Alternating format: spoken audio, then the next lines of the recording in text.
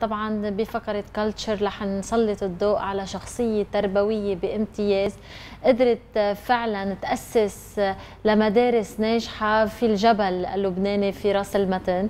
هذه الشخصية اللي هي تعتبر من تلاميذ الكبير مارون عبود. وأيضا كمان لها بصمة كثير كبيرة في مجال التربية.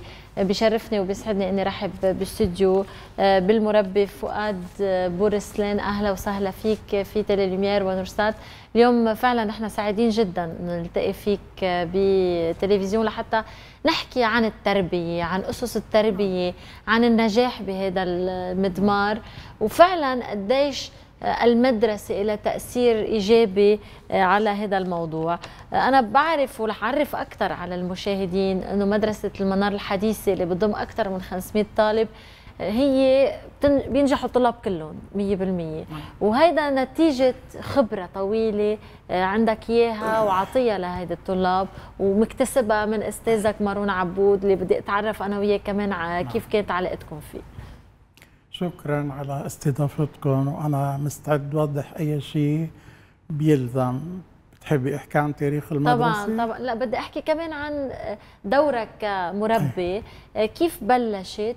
وكيف فعلا حملت هذه الرسالة؟ وقدرت أسست لهالمدارس كلها صحيح. المدرسة صار عمرها 33 سنة. بدأنا فيها بالحرب.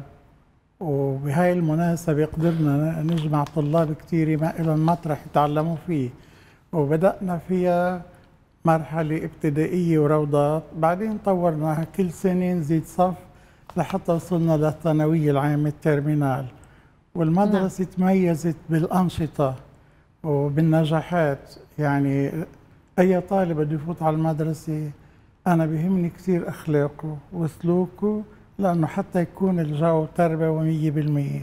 بعدين بالمدرسة أنا بختار أفضل المعلمين والمعلمات وهن اللي عم يشتغلوا بكل صدق وإخلاص بتوجيهاتنا وبسهرنا معهم.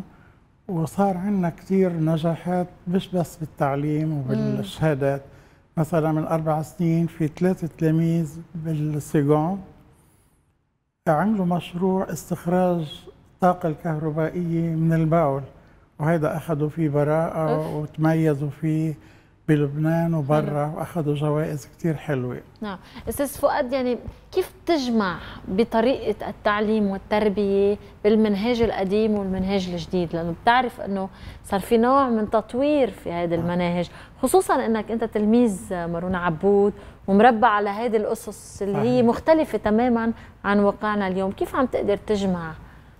أنا تخرجت من 51 سنة من ال AUB الجامعة الأمريكية. واختصاصي كان بكلية التربية واللغة الإنجليزية. كمان تأثرت كثير بتوجيهات الجامعة الأمريكية بالإضافة للأستاذ المرحوم الأديب الكبير مارون عبود. فأخذنا بتوصياتهم وعملنا فيها. يعني مثلا بالجامعة كانوا يقولوا لنا بالإنجليزي you should be somebody not anybody. بعدين بالميدل إيست all the leaders are graduated from AUB فأنا تأثرت بهالتوجيهات نعم. هاي واشتغلت عليها.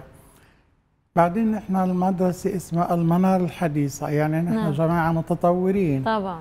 أخذنا كل شيء منيح من القديم ومشينا على الحداثة هلا في عنا أنشطة كثيرة بتكتشفي فيها مواهب الطلاب. مش معتمدين شو بيعمل الطالب بالصف. نحن كمان نفتح مجال بنعمل شيء اسمه معرض العلوم science fair هذا بيجمعوا فيه الطلاب كل الأنشطة وال project اللي بيعملوها. بنحضرهم لآخر السنة وبيعملوا معرض وبكون عندهم هن القدرة groups يشرحوا للزوار للأهل شو هال project اللي عملوه. فالصراحة عم ببين قدرات للطالب اللي بتعطيه فرصة يبتكر أشياء طبعا. بتكون ما مبينه بالصف يعني الصف آه. وحده مش كافي لهذا نحن بنشجع المواهب بطرق مختلفة. نترك الطالب آه، نعطيه مجال يعمل مشاريع ويقدمها. وبنشجعه عليها وهي بتجيب نتيجة كثير حلوة. آه، طبعا آه، حضرتك كاتب الطبيعة وسحر الواقع وعندك ثلاث كتب ذاكرة الضيعة.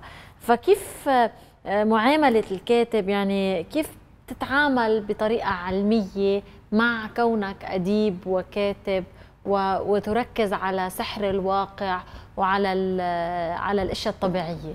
أنا تأثرت بضيعتي اللي هي رأس موقعها حلو مناخها حلو وعمرت أنا وشريك إلي المدرسة فيها برأس الماتن فالصراحة استمديت كثير من هالطبيعة الحلوة المشهورة بأشجار الصنوبر والمناخ الحلو.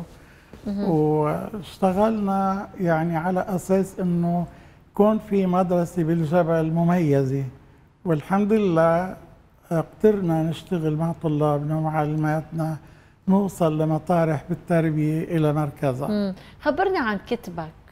كتبي أنا عملت أربع كتب خبرك عن واحد منهم اللي هو عن رأس الماتن سميته مطارح وحكايات.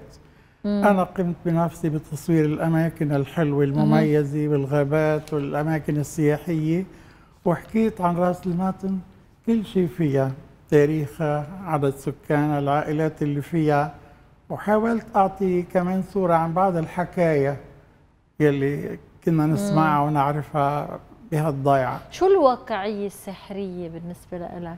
ما هو سحر الواقع؟ سحر الواقع الحلو سحر. هو الطبيعة الحلوة. نعم. فأنا استبدلت كل شيء من الطبيعة. مم.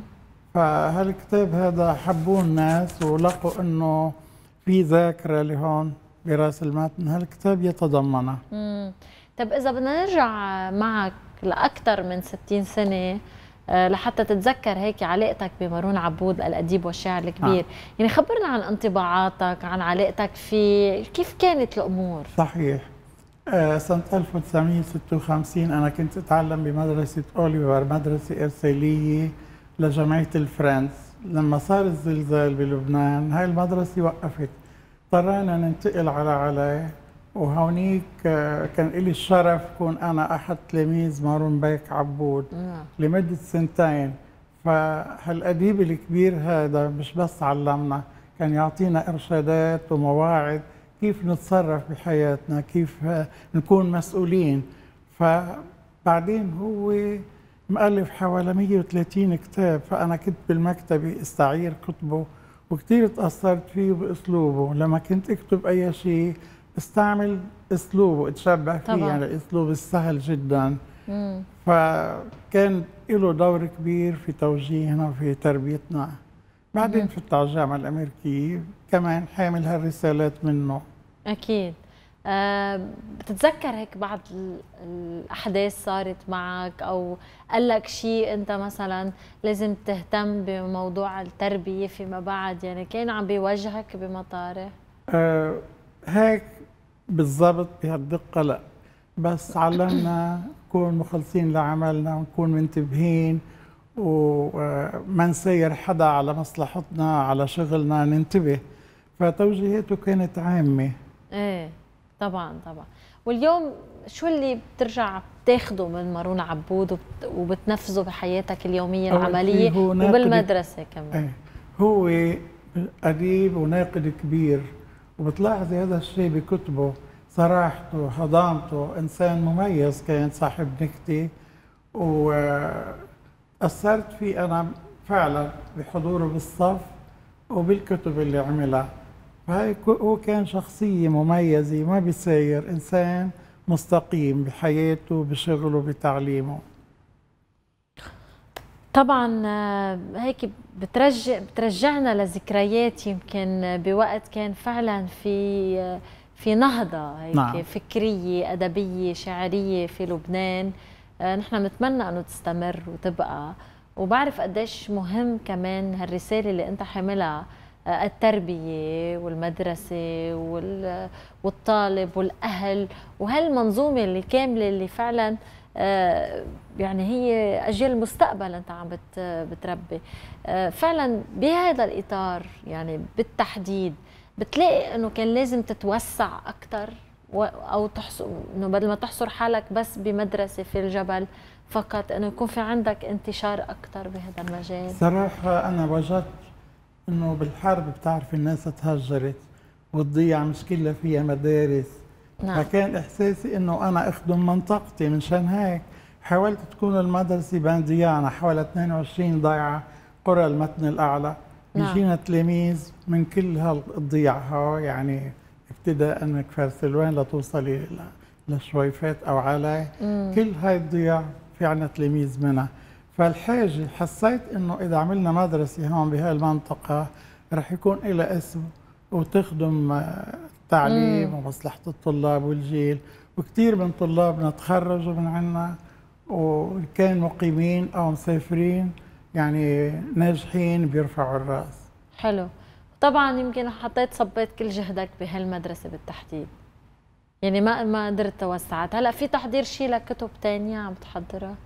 في كتاب آه، عبهي هذا مجموعة مقالات متفرقة ما لهم نعم. علاقة ببعضهم بس آه، حأجمعهم قريبا نعم طبعا آه، نحن كمان بنوجه تحية لكل أهل راس المتن اللي هن آه، يمكن أوقات هن أساس الوحي بكثير من الشغل والأعمال وكمان الطبيعة الموجودة هونيك الصنوبر والسنديان نعم. فعلا هذه اللي بتعطي أجواء مختلفة و- ومن خلالك طبعا نوجه تحية لكل الرجالات الكبار نعم مثل آه، الشاعر يوسف عبد الصمد و وكتار كتار يعني من نعم. المبدعين براس المتن ومن حضرتك من بيناتهم كمان آه، بختام هذه الحلقة بتحب توجه كلمة أخيرة للمشاهدين؟ أنا بشكر أهل ضيعتي بالدرجة الأولى لأن كثير رحبوا فيي وناس كثير قالوا لي بلاش ما تخلي المدرسة تستأجر مبنى تعمر هون فإلهم الفضل إنه شجعوني وساعدوني فأنا بشكرهم دائما وبتأمل للمدرسة من بعد مني تستمر بنجاحها وتألقها. طبعا آه، نحن بدنا نشكرك كمان بدورنا والله يطول بعمرك. هيك تضل حامل هذه الرسالة المهمة وتنقلها كمان لأجيال وأجيال. وأنا بعرف قديش الاهتمام كبير آه، بهذا الإطار. وأنت عندك كمان مسؤوليات عم بتقوم فيها. إن شاء الله دائما بالنجاح آه، مدرسة المنار الحديثة. وأيضا نحن بانتظار إنتاجك الفكري الجديد والكتاب الجديد رح تصدره شكرا لك الأستاذ فؤاد بورسلان